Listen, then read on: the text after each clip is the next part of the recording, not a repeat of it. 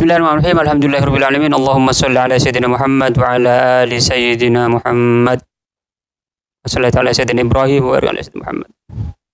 Bismillahirrahmanirrahim. Ketemu lagi dengan kami masih dalam edisi kiamat. Masih dalam edisi akhir zaman.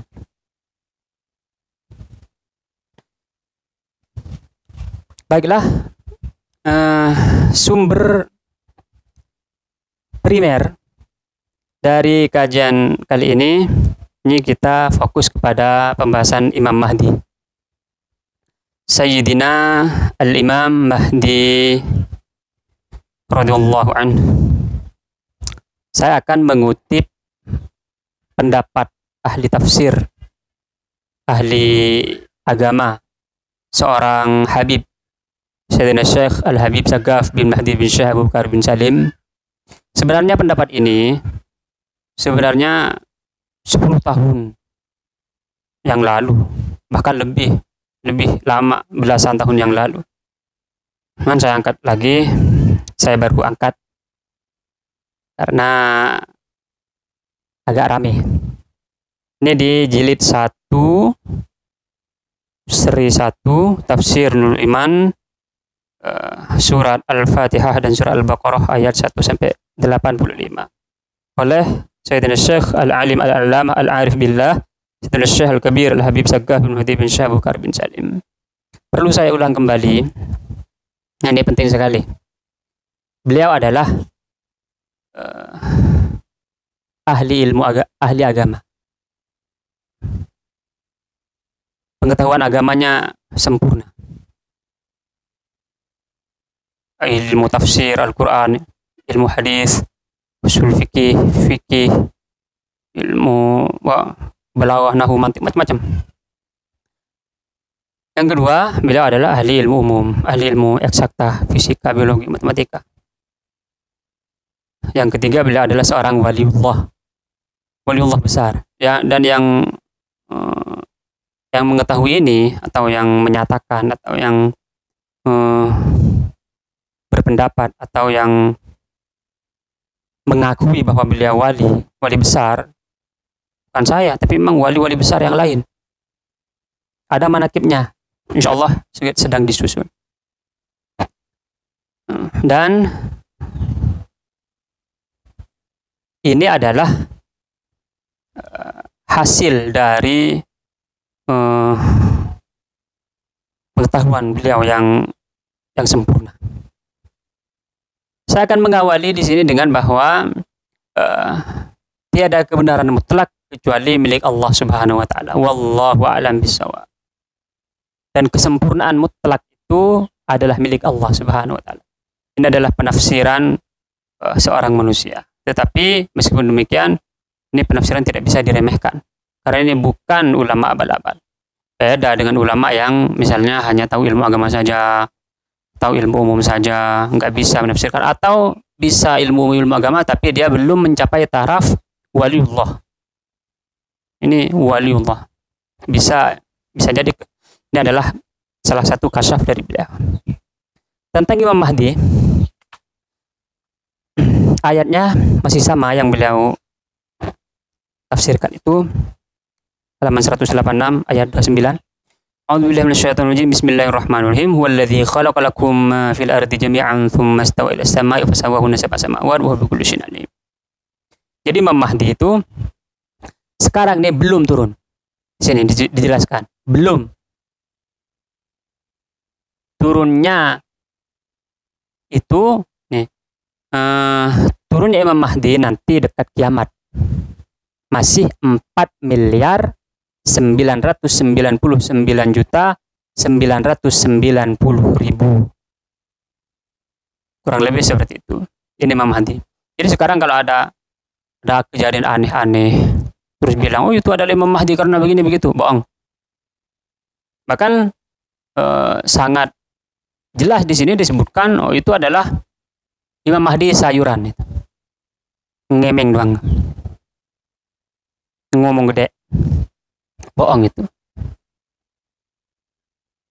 Dan juga Nabi Isa alaihi salam. Sayyidina Nabi Yuna Isa alaihi salam. Beliau turunnya nanti masih lama. Ada yang bilang Mahdi sekarang umur berapa? 30 tahun sudah begini. Bahkan banyak para tokoh besar itu dan misalnya tokoh-tokoh ahli agama sekarang besar yang besar gak ada yang berani menyatakan bahwa kiamat itu masih sangat lama sekali nggak ada yang berani. Mereka memang semua mengakui bahwa kiamat itu sangat dekat karena eh, pratanda-pratanda, mukjizat-mukjizat atau eh, prediksi Nabi itu sudah seakan-akan 80% sudah semuanya. Misalnya eh, tentang pembagian yang uh, umur umur Islam misalnya zaman nubuah, zaman mulk, zaman kerajaan, zaman Jababir. Sekarang sudah masuk zaman Jababir, itu kan penafsiran. Sekarang masih ada negeri-negeri negara yang memakai sistem kerajaan. Artinya penafsiran itu sudah terbantahkan dari situ. Uh, misalnya negara Malaysia pakai kerajaan, Inggris masih kerajaan. Lihat masih banyak lagi yang kerajaan-kerajaan lain. Tahu Jababiro? Jababiro dari mana? Indonesia masih aman, kita bisa sholat, zakat, puasa, semuanya bisa. Jadi masih enggak enggak jaga biro. Kalau kita e, mengikuti e, penafsiran ulama seperti itu. Tapi bagi saya, saya mengikuti e, Sayyidina Syekh Al-Habib Sagaf bin Mahdi bin Syekh Abu Bakar bin Jalim bahwa Imam Mahdi sekarang belum turun dan masih lama, sekitar 4 miliar tahun yang akan datang. Begitu juga dengan Nabi Isa alaihissalam, Sayyidina Nabi Isa alaihissalam. Beliau masih akan turun kira-kira sekitar 4 miliar tahun lagi. Konsekuensi lainnya adalah bahwa setiap peristiwa yang akan datang ini dekat-dekat nih, misalnya ada meteor, uh, peristiwa tsunami misalnya atau peristiwa apa huru hara macam-macam atau yang baru yang baru nih uh, Taliban misalnya. Oh dia adalah laskar Imam Mahdi berarti langsung bisa ditolak mentah-mentah. Itu adalah kebohongan belaka. Dan bisa jadi itu diatur untuk misalnya me membuat kerusuhan misalnya. Jadi peristiwa-peristiwa yang 10 tahun yang akan datang dari sekarang 20 tahun atau 30 tahun 100 tahun 200 tahun 1000 tahun dari sekarang nih peristiwa-peristiwa apa peristiwa ekonomi politik yang dikait-kaitkan dengan Imam Mahdi dan Nabi Isa dan Dajjal. Dajjal juga nih.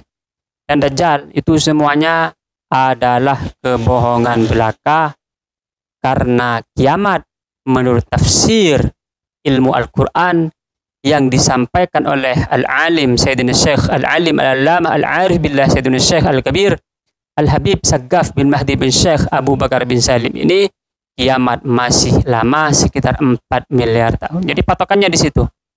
Setiap peristiwa-peristiwa konflik-konflik segala macam yang dihubung-hubungkan pakai cocok-cocok lagi semuanya itu tidak lain adalah hanya sebatas uh, prediksi yang dasarnya hanya separuh-separuh. Bisa jadi agamanya kurang, bisa jadi uh, ilmu pengetahuannya, ilmu umumnya kurang, atau bisa jadi dia ilmu agama umum bagus tapi belum masih sampai level waliullah. Jadi ini sangat penting untuk kita uh, pahami. Lalu ada yang bilang nih, Waduh, kalau begitu eh enak dong.